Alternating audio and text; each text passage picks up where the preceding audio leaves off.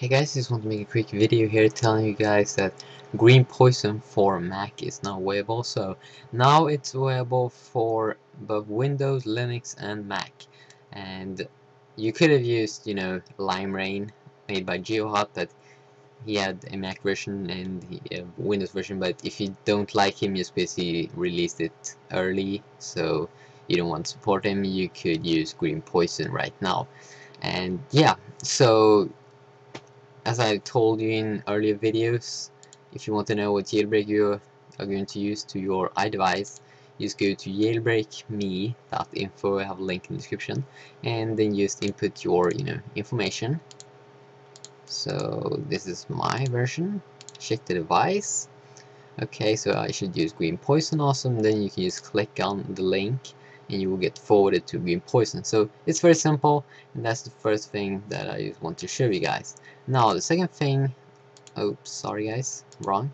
The second thing I just want to show you guys is the tiny umbrella the program to save your SHSH file has been updated. So now it's you know much simple and you know more clean interface to know what you are you know going to do and how you are going to do it. So here you can see my connected devices um, and you can see the recent devices. So if you have a lot of you know iPods and iPhones I don't think you have that because many people don't have that. Um, but you can just click on your device if you have it connected. And then you have three tabs here. And if we go to general we see the device model we'll see the firmware version and then we see some two very weird things I have no idea what that is. Then you will see the saved SH SH files. And as I've said in previous videos it's very important to save SH SH files if you want to be able to downgrade in the future. It could always be a great backup if you if your uh, iDevice gets bricked or something like that. So basically what you do is you download this Tiny Umbrella program, this new version, and then just connect your iPod, iDevice to your computer, uh, fire up the program, and then you click on Save SH SH files.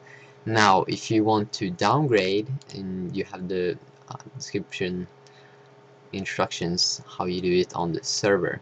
First, you just plug in your device, then you start the TSS server here, and then you restart iTunes, select device in iTunes and when it appears you should hold down shift and click click restore. And then you select your appropriate IPSW file. Okay, I don't think many people are going to use this but you know it's very you know more simple than before. Um, so that's very good. Then you have some advanced things. You can see where you have your SH, SH files and if you want you know to save all of your files and so like that. So it's very cool this new version. So yeah that's everything I want to talk about. If you like the video please comment subscribe and I see you guys next time. Bye